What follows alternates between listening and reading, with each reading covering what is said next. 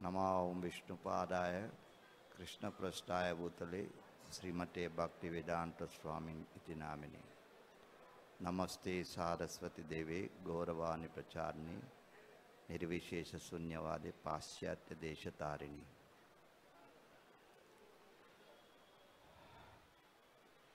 My dear Srila Prabhupada,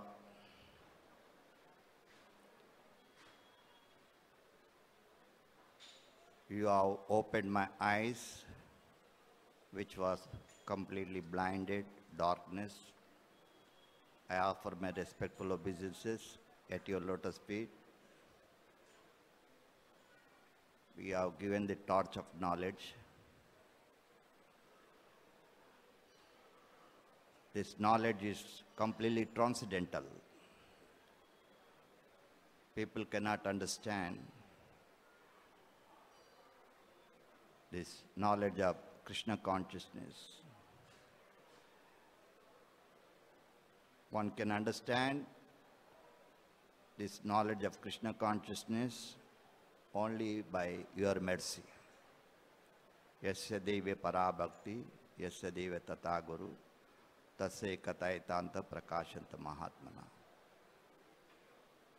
It is stated that one who has unflinching faith in the bona fide spiritual master like you and unflinching faith in the supreme personality of Godhead, this knowledge is revealed to us. So, so you are the perfect spiritual master. You have appeared by the order of Krishna to deliver the message of Krishna.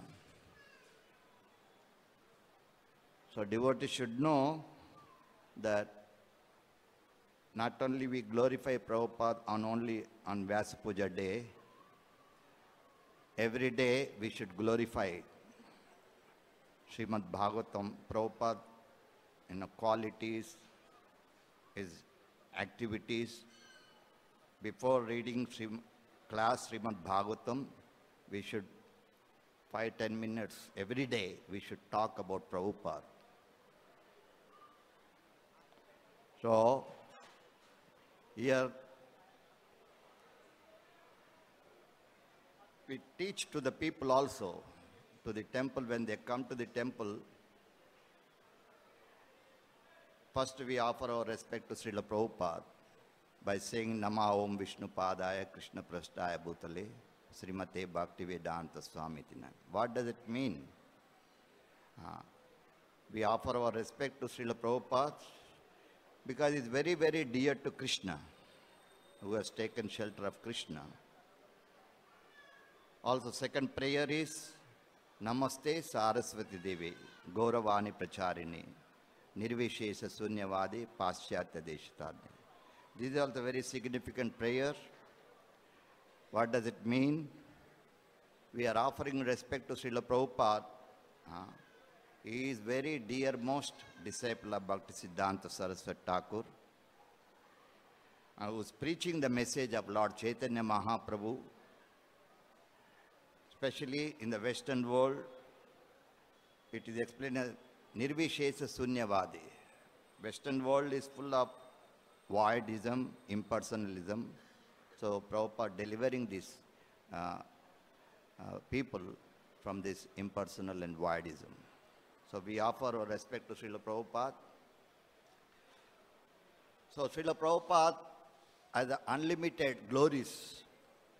Uh, when you say Jai Hom Vishnu Pada, there is a meaning. Paramahamsa, there is a meaning. Paribrajakacharya, meaning. Uh, every word of Prabhupada, when we stand, we should know uh, with the understanding what is meant by Bhakti Vedanta. Uh, so much significant. Anyway, so here there is a nice uh, statement, uh, Srila Prabhupada writing. One more minute, like a Vyasadeva, he gave these literatures, Bhagavad Gita, Bhagavatam, all the Vedic literature. So Prabhupada is the representing Vyasadeva. In Parampara, like Krishna gave knowledge to Brahma, Brahma to Narada, to Narada to Vyasa. So like this, Prabhupada is the lost in the Parampara.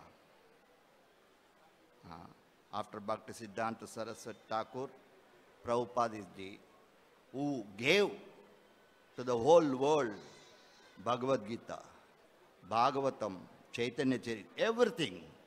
So he is the real representative of, of Vyasadeva. I don't want to take so much time. Just two minutes here. Very nice uh, in the uh, third canto, chapter 32, text 42, what Prabhupada says, what Kapila is telling. Uh, please, uh, everybody can hear, note down this also. Lord Kapila says, this is a this instruction should be imparted by the spiritual master to a person who have taken the supreme personality of Godhead to be more dear than anything, who are not envious of anyone, who are perfectly cleansed, who have developed detachment for that which is outside the purview of Krishna consciousness. So in the purport, Srila Prabhupada is very nicely writing, one must be prepared to offer necessary respect and honor to the spiritual master. He should not be unnecessarily envious of God brothers. Rather, if a God brother is more enlightened, advanced in Krishna consciousness, one should accept him as a almost equal to the spiritual master. And one should be happy to see such a God brother advances in Krishna consciousness. So Prabhupada instructions to everybody. Uh, this Bhagavatam purports is for everyone. So here Prabhupada says the word diyata means that knowledge of Krishna consciousness should be offered by the spiritual master. Everybody listening? Haribol?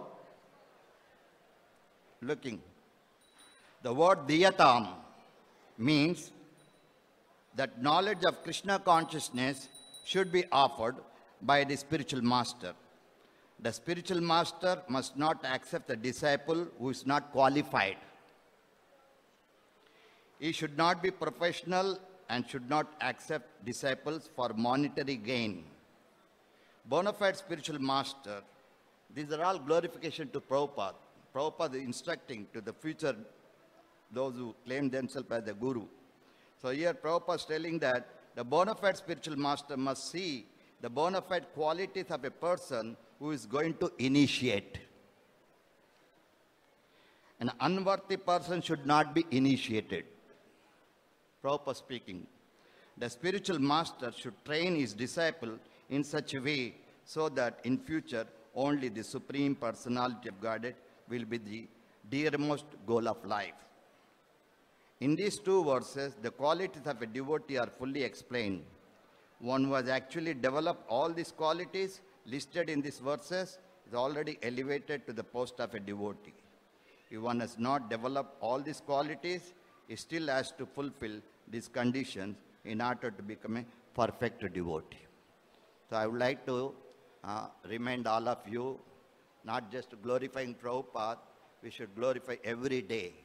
uh, unlimited qualities of Srila Prabhupada.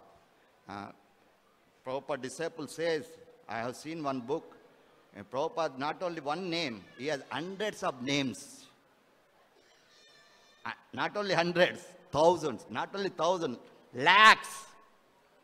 Even the Baladev Ananta, he cannot glorify Srila Prabhupada. Okay? Hare Krishna. Bolo Patita Pavan Srila Prabhupada ki. మహాపతిత పావంశుల ప్రభుపాదికి